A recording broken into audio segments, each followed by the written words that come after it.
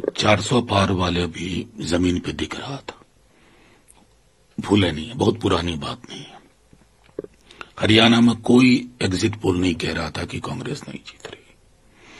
अभी झारखंड से मैं खुद आया मैं आपको बताऊँ कि वहाँ हमें एज है मैसिव लेकिन फिर भी मैं एग्जिट पोल्स जो कि कुछ एग्जिट पोल ने बढ़त दिखाई है मैसिव मैं उस पर भरोसा नहीं करूँगा। परसों इस वक्त तक स्थिति क्लियर होगी। मुझे पूरा भरोसा है कि एक जगह सरकार की वापसी होगी, झारखंड, और एक जगह सरकार का गठन होगा, नई सरकार का।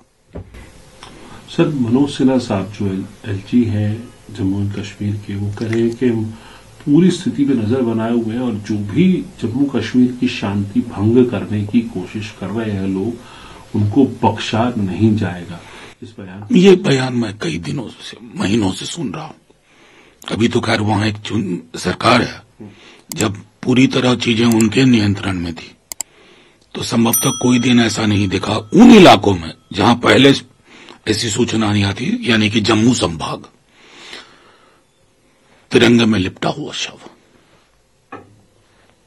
राजनेता लोगों का काम है, माला पहनाई और भूल गया हर इस तरह की जो जब हम श्रद्धांजलि देते हैं तो श्रद्धांजलि देकर निवृत्त नहीं होना चाहिए।